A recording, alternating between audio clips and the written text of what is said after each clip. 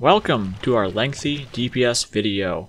Throughout this video, it'll be narrated by different moderators, so if you hear the voices changing, that's normal. Enjoy!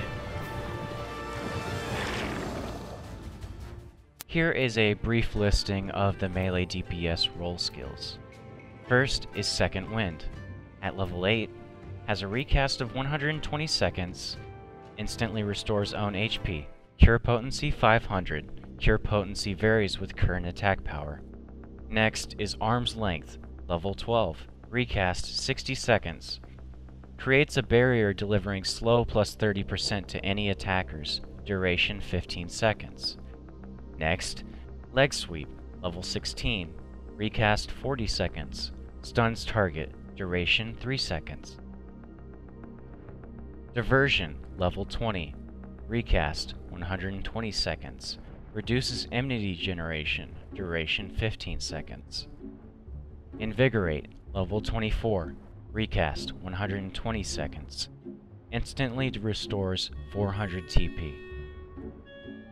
Bloodbath, level 32, recast 90 seconds, converts portion of physical damage dealt into HP. Goad, level 36, recast 180 seconds, refreshes TP of a single party member, duration 30 seconds. Feint. level 40, recast 120 seconds, lowers target's strength and dexterity by 15%, duration 10 seconds. Crutch, level 44, recast 90 seconds, removes bind and heavy from target party member other than self. True North, level 48, recast 150 seconds, nullifies all action direction requirements. Duration 15 seconds. Hey guys, MomoFist here with a melee DPS breakdown, starting with our newest class, Samurai. Now Samurai has two class resources, one set of glyphs and a class resource bar. The glyphs are collectively called Sin and individually called Setsu, Getsu, and Ka. Class resource bar is the Kenki gauge.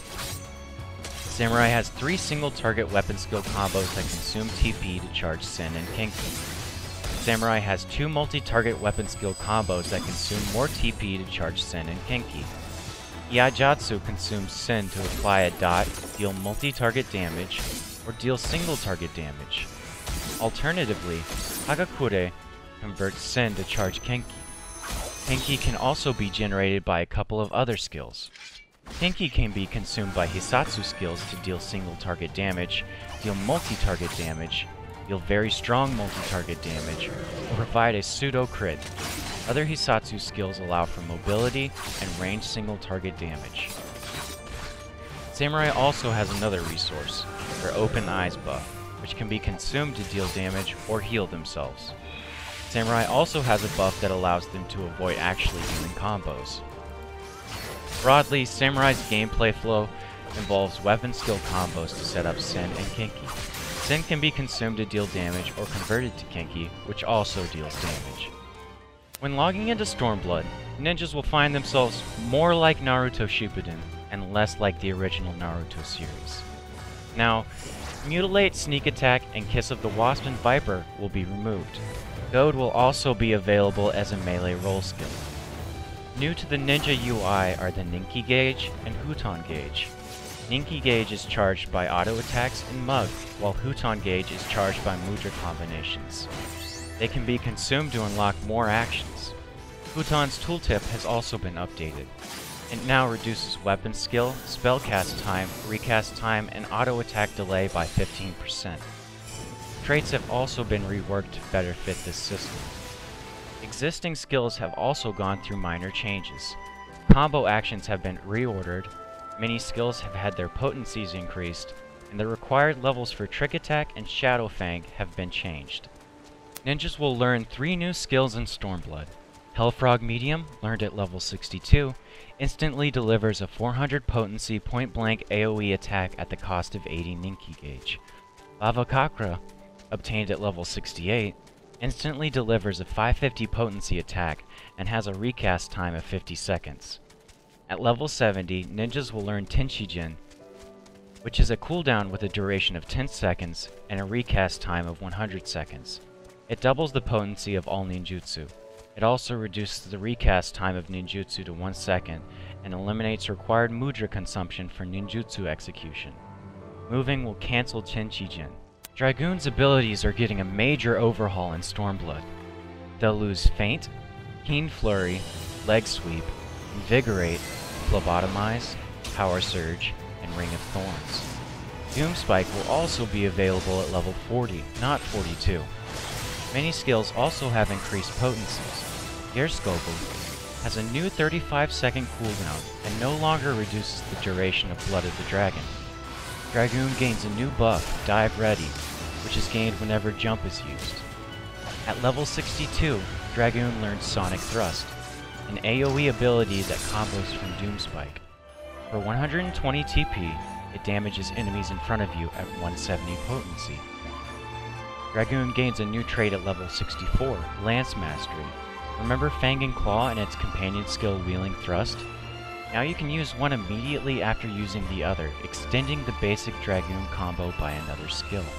At level 66, Dragon Sight grants Dragoon a second utility ability. Dragon Sight lets you pick an ally to tether. As long as you remain in a 6 yalm range of them, you gain 10% damage and they gain 5% damage. It lasts 15 seconds and has a 120 second cooldown.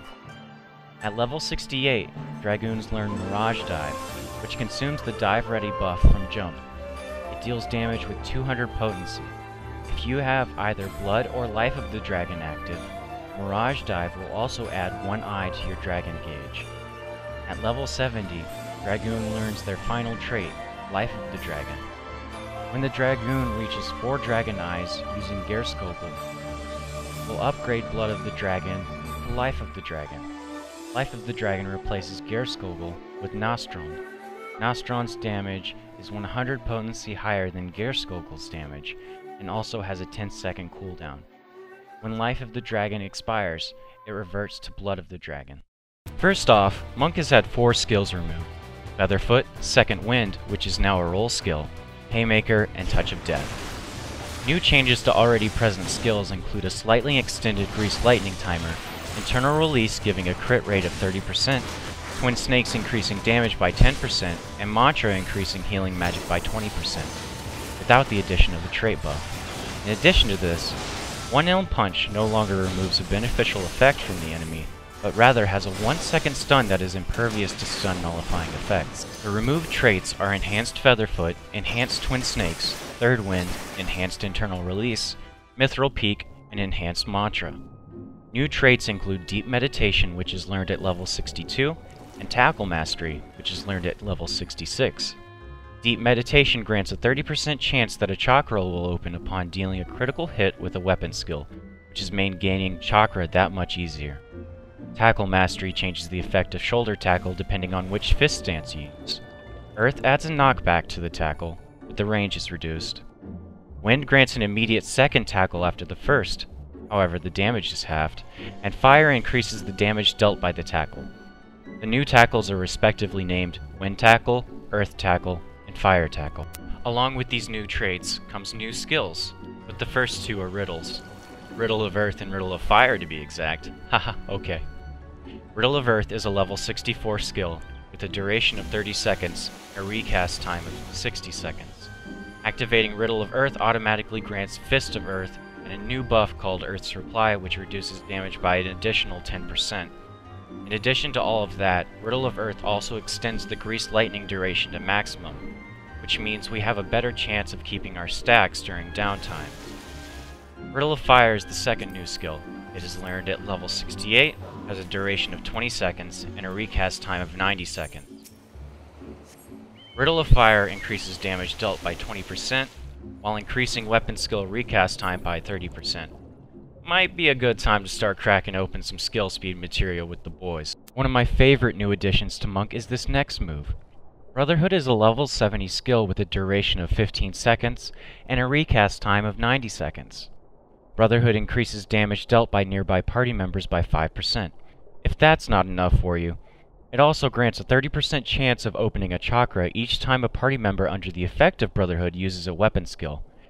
This will be a good opportunity to yell at your bard to stop auto-attacking and remind him he has weapon skills. All in all, our rotation hasn't changed much at all, and we have more chances to use chakra skills. This has been Momofist. Yeehaw. Hey there, my name's Ruby, and I'll be going over the changes to the caster DPS in Stormblood. Let's start off by previewing the caster role skill. To manage spellcasting, Swiftcast and Surecast are now role skills. To manage aggro, Diversion, which is Quelling Strikes by a new name, is a role skill for melee and caster DPS. Bard will lose Quelling Strikes. To manage aggro and mana, Lucid Dreaming, which is Shroud of Saints by a new name, is a role skill, and White Mage will lose Shroud of Saints. It refreshes MP and dumps half your current enmity. Mana Shift allows a caster to transfer up to 20% of their maximum MP to a party member, with a cooldown of 150 seconds. It pairs really well with Black Mages and their infinite mana. To mitigate damage, Addle, a new skill, and Apocatastasis from Black Mage are now caster role skills. Addle replaces Virus and reduces only Intelligence and Mind. Arcanist will lose Virus. To manage debuffs, casters learn Break and Erase. Break inflicts Heavy, which reduces the target's movement speed, and Erase removes a dot from an ally. For self-sustain, Drain does a small amount of damage and heals the caster for 100% of damage dealt. Raging Strikes is now exclusive for bards which make cooldown simpler to manage. Notably, none of the new caster role spells actually directly boost your damage, instead they all provide party utility. Let's talk about the changes to Black Mage. One of the biggest changes to the job is that Enochian no longer has to be kept up. As long as you're in Astral Fire or Umbral Ice, you won't lose it. Since Astral Fire and Umbral Ice last for 12 seconds, and your Transpose is on a 12 second cooldown, you should never lose Enochian. After maintaining it for 30 seconds you get a buff called Polyglot, which I'll explain later. Another change is that Blizzard 4 now gives you 3 Umbral Hearts. These hearts completely nullify the MP cost increase for fire spells caused by Astral Fire. For example, casting Fire 4 while you have an Umbral Heart available will make it so the spell will only cost a measly 884 MP. Lastly, via two new traits, Thunder 1 and Thunder 2 are now replaced by Thunder 3 and Thunder 4, respectively. If you scale down to older content, you regain the ability to cast the old Thunders.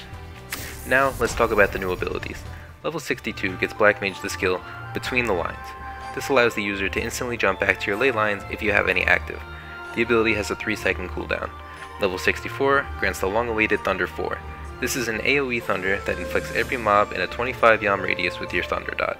66 brings us the triple cast ability, which as the name suggests allows the user to cast the next 3 spells instantly. Finally, at level 70, Black Mage gets the ability Foul. Foul is an AoE with a whopping 650 potency. The catch is that this move can only be executed while under the effect of Polyglot. Polyglot is consumed upon the use of Foul.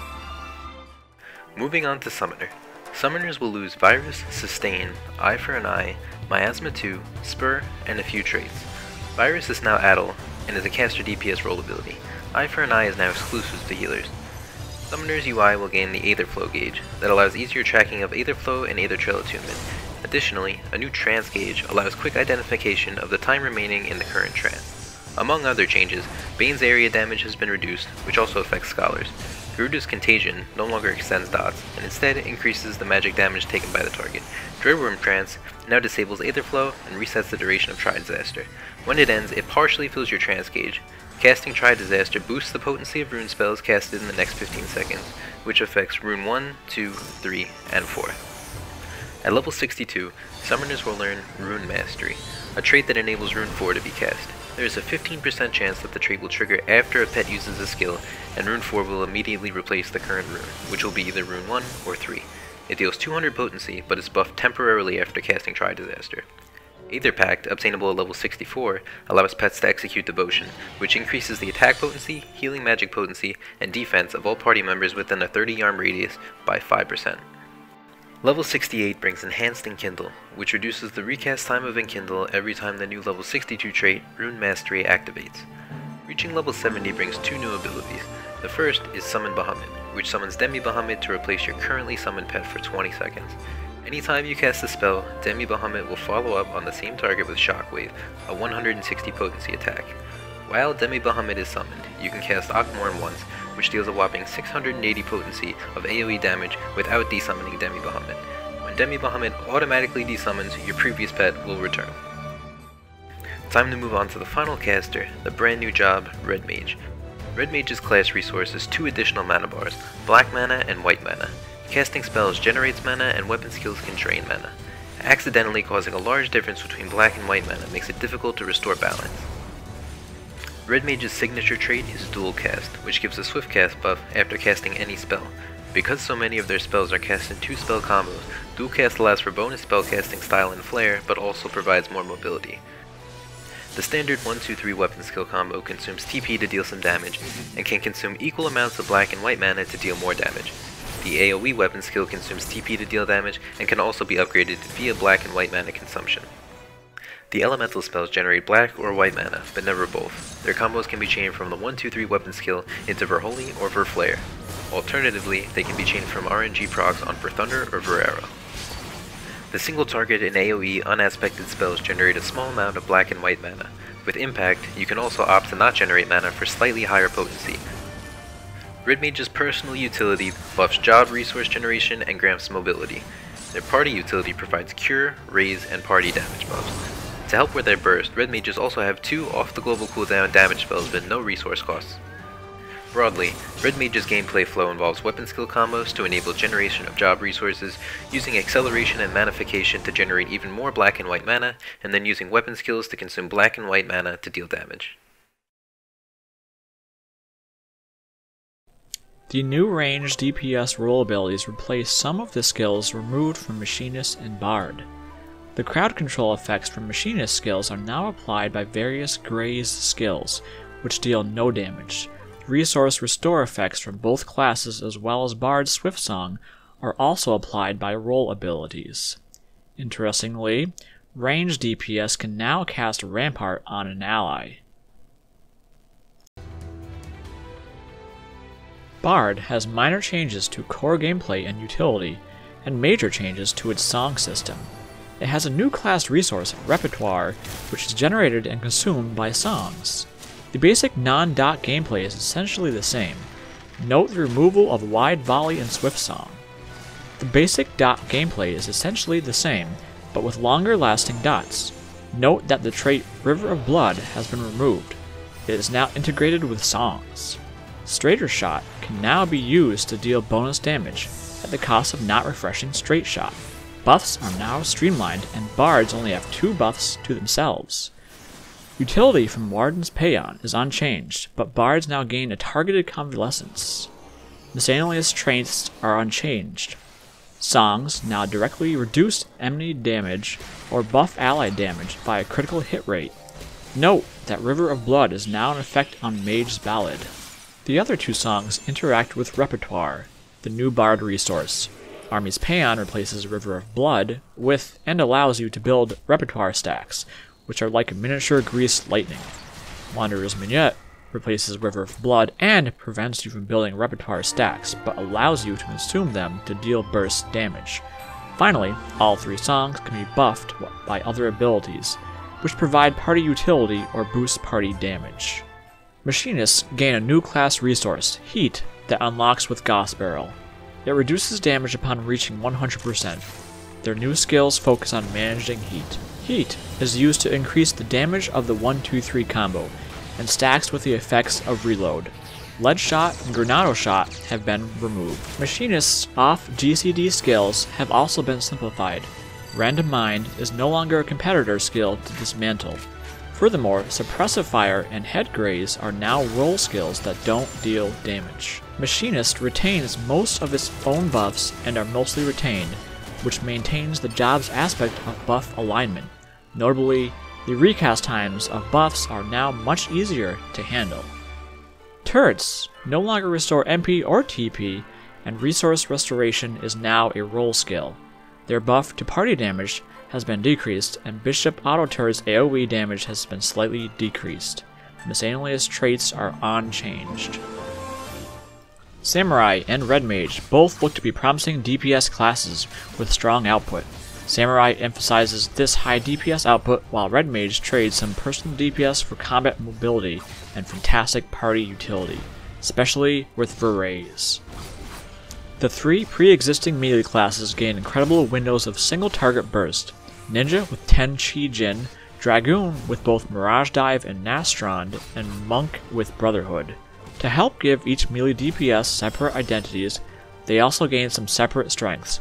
Ninja with multi-target burst, Dragoon with single target burst, and Monk with regular party damage buffs. Machinist has even greater focus on cooldown management to maximize burst, while Bard trades that burst for consistent party damage buffs, and with brief windows of further buffs. Uniquely, Bard can increase the party's maximum HP. Both jobs can still fulfill resource replenishment duties. Summoner gets something new and awesome to summon, and moves his identity away from a strong, consistent AoE dot mage towards a mage with windows of strong single target damage, supplemented with party damage buffs. Black Mage, on the other hand, is cemented as an AoE caster with its new spells, and also enjoy skills that help with mobility.